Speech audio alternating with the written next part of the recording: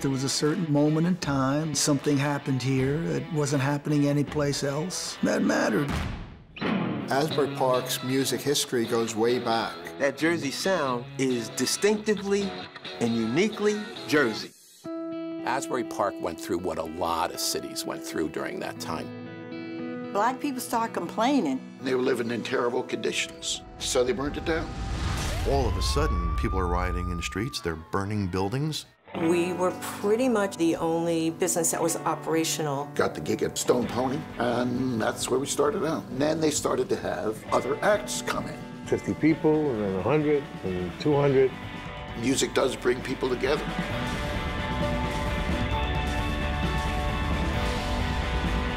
Asbury is never going back. The only thing we're going to be is the new Asbury Park.